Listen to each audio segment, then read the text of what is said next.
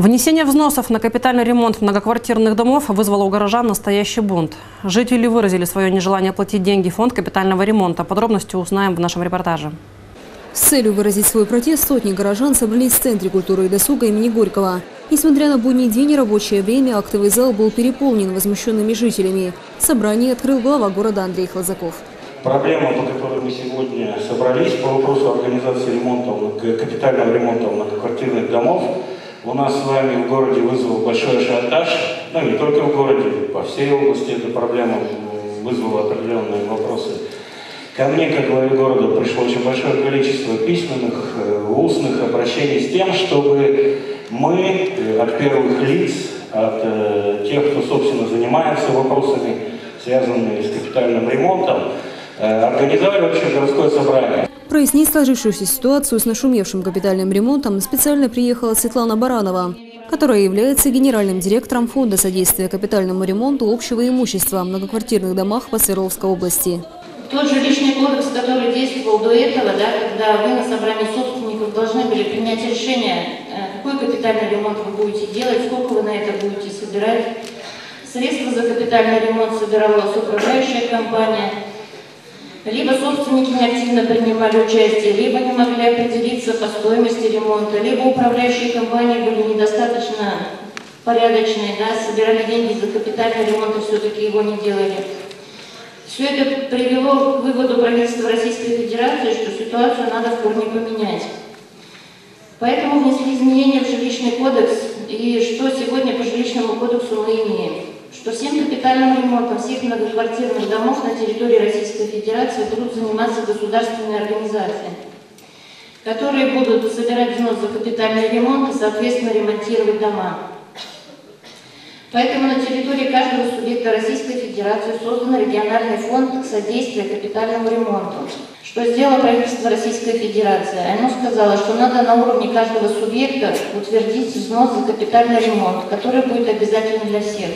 По словам Светланы Павловны, на территории Российской Федерации большинство многоквартирных домов пришли в плачевное состояние, так как капитальный ремонт многоквартирных домов комплексно практически никогда не производился. В связи с этим на федеральном уровне была принята региональная программа капитального ремонта. В этой региональной программе капитального ремонта есть и все ваши дома, всех вот жителей, которые здесь сегодня находятся либо администрация, либо на сайте фонда, либо на сайте правительства можно было посмотреть, найти свой дом и посмотреть, в каком году у него запланирован ремонт.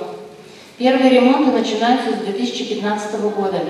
Однако некоторым капитальный ремонт придется ждать долго, так как региональная программа рассчитана на период с 2015 по 2045 годы. Поэтому владельцам многоквартирных домов необходимо определиться, каким образом они будут накапливать средства – самостоятельно для своего дома или собирать в общий котел – если же средства пойдут в общий котел, то они будут перечисляться на счет регионального фонда. Если же самостоятельно, то члены товарищества собственников жилья могут открыть свой лицевой счет. В соответствии с жилищным кодексом есть еще один способ, как капитально ремонтировать свой дом. И причем многие жители Свердловской области этим способом воспользовались. Это какой? Это надо было на решении на собрании собственников принять решение что мы будем формировать фонд капитального ремонта на своем отдельном специальном счете дома. Для этого, для этого надо провести собрание и данное решение принести в Если у домов есть юридическое лицо в виде ТСЖ, ЖСК или какого-то другого кооператива, они, по сути, сами могут пойти в кредитную организацию в банк и открыть данный спецсчет для своего дома. Потом документы, протокол уведомления предоставить в госжилинспекцию. Это она ведет реестр домов, кто сам формирует фонд на своем доме. На сегодняшний день в области таких более двух тысяч многоквартирных домов. Это вот есть еще такая форма формирования фонда. Но в данном случае вы сами на собрании собственников принимаете решение, кто будет вам начислять и собирать эти взносы. Вы сами на собрании собственников будете принимать решение, кто и когда вам будет капитально ремонтировать дом, вы будете выбирать подрядную организацию, вы будете подписывать акты выполненных работ. То есть вы на себя полностью берете всю ответственность за состояние своего дома. В общем, если вы нехитрым умножением помножите площадь квартир в своем доме на 6 рублей 10 копеек, вы поймете, сколько в месяц вам начислят. То есть, по сути, дома, которые ниже 5 этажей, они никогда сами себе на капитальный ремонт не накопят. Почему здесь еще и появилась государственная структура? Потому что государство сегодня готово помогать и дофинансировать капитальный ремонт многоквартирных домов. Если дом новостройка и свыше 12 этажей, и у него ремонт стоит через 30 лет, вот на таком доме есть смысл самим собирать, открывать свой спецсчет и самим копить.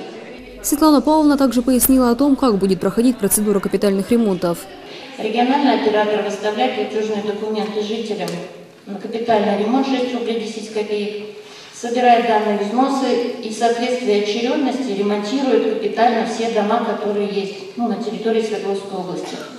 По сути, эта схема такая, да, как э, касса взаимопомощи раньше была. Да? Все платят, в этом году ремонтируем один дом. Все платят, в следующем году ремонтируем другой дом. По краткосрочному плану капитальных ремонтов по области в 2015 году планируется провести работы в 1184 многоквартирных домах. При этом в первую очередь будут ремонтировать те здания, которые в этом больше всего нуждаются. Фонд содействия капремонту полностью отвечает за проведение капитального ремонта тех домов, которые находятся на счете регионального оператора.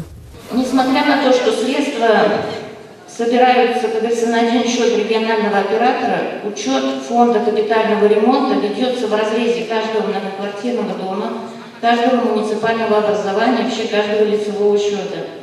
То есть, по сути, собственники многоквартирного дома всегда имеют право знать, и тут узнать на сайте у нас э, будет э, такая функция, как найти страницу, найти свой дом. Да? Зайдя на страницу своего дома, вы будете знать, сколько по вашему дому начислено взносов за капитальный ремонт, сколько собрано, сколько задолженность, в каком году стоит ваш дом в капитальном ремонте. Также Светлана Павловна пояснила, что входит в капитальный ремонт многоквартирных домов. Что такое капитальный ремонт многоквартирного дома? Это комплексный капитальный ремонт, куда включается пять видов капитального ремонта. Это полная замена всех внутридомовых инженерных систем. Это ХВС, ГВС, отопление, водоотведение, электроснабжение, газоснабжение, если там есть. То есть это полная замена, демонтаж и монтаж нового. Это капитальный ремонт кровли, фасада, фундамента и подвального помещения. Ну, то есть, по сути, это комплексный ремонт дома без заселения граждан. Напомним, что с 1 ноября 2014 года жители Среднего Урала начали уплату взносов на капитальный ремонт общего имущества многоквартирных домов. Размер минимального ежемесячного взноса на 2014 год утвержден правительством Свердловской области и составляет 6 рублей 10 копеек за один квадратный метр общей площади занимаемого помещения. Наши с вами права и обязанности, они прописаны в договоре. То есть с первым взносом, первой квитанции, да, обязанность по уплате взноса всех собственников на территории Свердловской области, она возникла с 1 ноября этого года, то есть в ноябрьских квитанциях. На основании этой обязанности мы заключили договор с расчетным центром на выставление этого взноса в одном платежном документе для удобства граждан, да, ну, мультиквитанция, по которой вам удобнее, по сути, будет платить. Вместе с этим взносом на капитальный ремонт, который выставили в квитанциях, еще направили вам договор на формирование фонда и проведение капитального ремонта. Данный договор, опять же, в соответствии с жилищным кодексом, он является публичным. Он один для всех собственников многоквартирных домов, независимо от того, жилое это помещение или магазин, либо это муниципалитет, у которого квартиры ну, в найме у граждан, да? либо это федеральная собственность Министерства обороны. То есть договор публичный, он один для всех. Опять же, в соответствии с жилищным кодексом, это обязанность собственников данный договор подписать.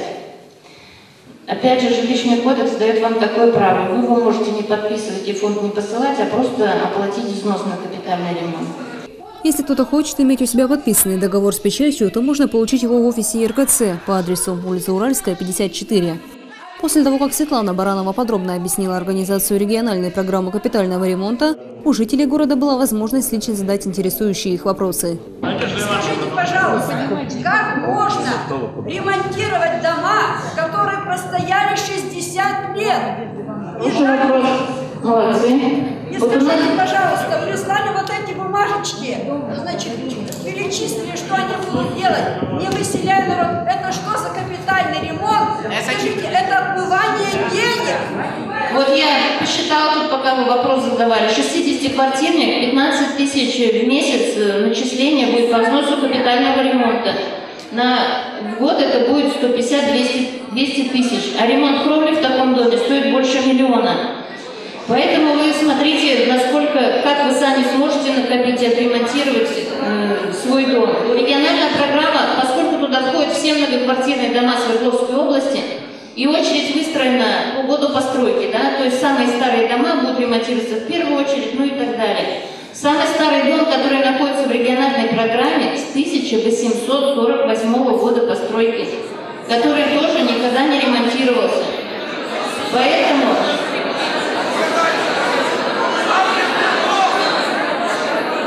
мне, меня, меня точно как, так же, как и вас, возмущает, когда в региональной программе капремонта стоит дом, который с печным отоплением, с колонкой во дворе, с туалетом на улице, и он еще подлежит капитальному ремонту. Мне кажется, вообще грех в 21 веке такие дома ремонтировать.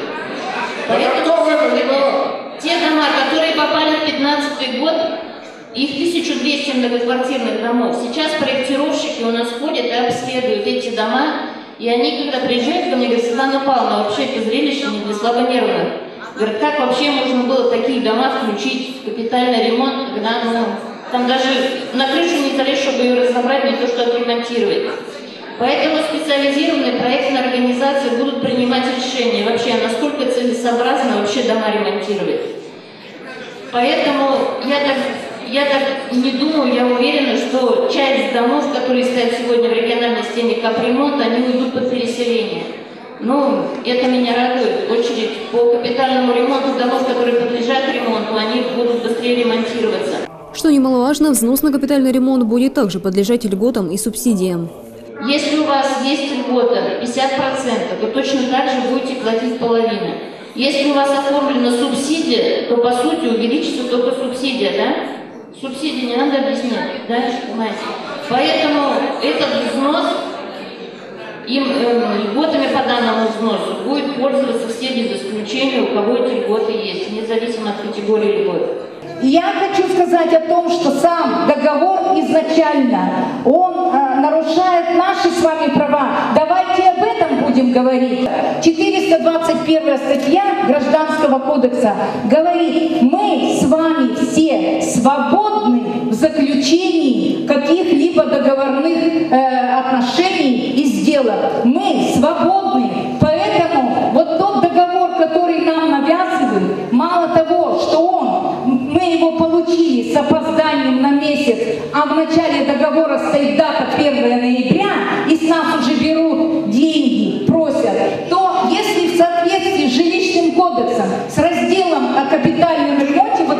раздел, который там много статей, там что сказано, что за месяц нам должен быть выслан проект или, как говорят в законе, оферта. И мы ее должны обсудить, мы должны написать э, протокол разногласий, с чем мы не согласны. Чтобы меня не обвинить, что я здесь говорю какую-то неправду. От себя, Дима, я хочу вам зачитать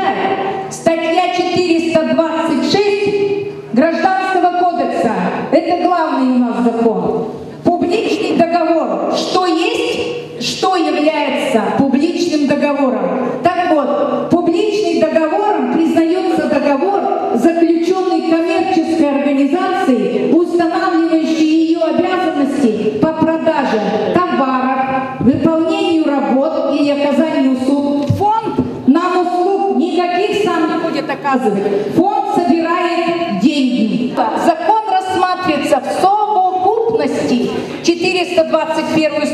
берем, это свобода договора. Дальше мы смотрим, публичный договор это не для нас, а уважаемый региональный оператор включили нам договор, вот эта бумажка, это не договор, это не документ, это бумажка, без роду, без племени, без подписи, без печати, без расчетного счета. Так вот я хочу сказать, что 445 статью ее включили Нас запугать. Первое, что там еще я обратила внимание, нас, вот нашу э, инициативную группу по защите прав собственников жилья возмутило что? До 10 числа дальше вам счетчик включают. Извините, у нас пенсионеры получают последнюю пенсию 24 числа. Сегодня вся страна встала на дыбы об этом злополучном э, капитальном ремонте, сборе э, денег. Это вообще какая-то афера в масштабах государства. Люди ее еще МММ называют. Что по сегодняшней ситуации, допустим, меня бы устроило? Меня бы устроило то, что э, господин Путин Владимир Владимирович, президент нашей Российской Федерации, взял бы и своим волевым решением обязал банки 2-3% э, долгосрочные кредиты. Сегодня наш бы дом взял кредит, э, значит, отремонтировал по сегодняшним ценам и 30 лет выплачивал бы этот кредит под 3%. Сегодня, сегодня так работает автономия Татария. Они с 2008 года ремонтируют прекрасно дома. Они тоже в нашей Российской То Федерации. есть сегодня жилищный кодекс, как я уже говорила, он вам дает такое право. То есть вы на собрании собственников принимаете решение, что мы будем формировать фонд и сами делать ремонт. Это и дано вам право, оно у вас есть. Давайте сделаем из асбеста пилотный проект, где каждый дом выберет и откроет счет своего дома и будет сам его ремонтировать. Такое право есть, и почему такое возмущение? То, что касается кредитования, это тоже уже предусмотрено жилищным кодексом. И как раз те собственники, которые открыли свой спецсчет, они могут являться инициа- инициаторами кредитования. Светлана Павловна пояснила, что фонд создан для тех собственников, кто не хочет ходить на собрания и заниматься организацией капитального ремонта. По ее словам, для того, чтобы произвести капитальный ремонт стандартного 60-квартирного дома, необходимо порядка 10 миллионов. Светлана Баранова отметила, что исходя из собственного опыта, двух-трехэтажные дома никогда не соберут на капитальный ремонт и не смогут его сделать самостоятельно.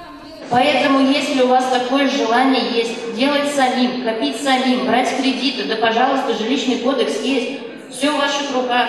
Тогда я не понимаю, какой негатив. То, что на сегодняшний день, допустим, у вас вызывает негатив те квитанции, которые вам выставили, вы хотите сами. У вас в любое время есть такое право принять решение и сменить способ формирования фонда. На сегодняшний день, после окончания срока выбора формы формирования фонда, у нас уже порядка 10 протоколов, когда собственники хотят уйти от регионального оператора на свой спецсчет. Никто же не запрещает. Для этого надо принести фонд протокол собрания и открыть этот только и всего. Завершилось же массовое собрание протеста. Горожане решили проголосовать, кто будет платить взносы в фонд капитального ремонта, а кто нет. Протестующих оказалось абсолютное большинство. Уважаемые жители города, минуточку. Вот сейчас мы все с вами выслушали. Выслушали регионального представителя, все заслушали. Помните, мы платили страховые взносы от соцстраха? Вы кто-нибудь страховки получали, которые когда-то много лет? Пропали? Пропали. Давайте сейчас по региональному фонду. Давайте будем голосовать, как житель города Асбеста. Кто будет платить вот это за, за капитальный ремонт? Фонд именно. Кто